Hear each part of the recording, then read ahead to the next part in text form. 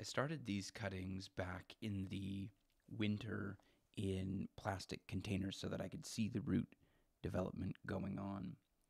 And now I have to get them out of the plastic containers, which is going to prove difficult. I have grape and I have hibiscus.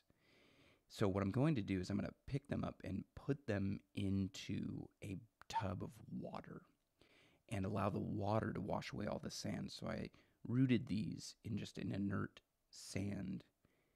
And this is actually going to work out really well because the sand is just going to settle to the bottom and allow me to untangle the roots that are pretty knotted up. And if I was to try to get them out, I think I would damage them.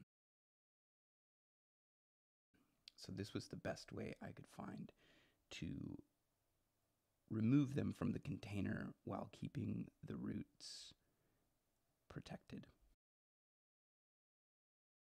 And the results are pretty good. They come apart very easily and I've got some pretty good root development, which I'm happy for. So these are the grapes.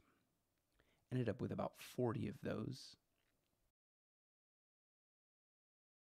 And the hibiscus came out a little bit easier because I'm using a, I'm recycling a grape container which has holes in the bottom, which actually really worked well for rooting these cuttings. It didn't get too soggy, didn't dry out too fast. So I'm going to reuse these grape containers. And again, a little bit tangled, but they came apart really easily in the water, and we have good root development. So, very happy about this.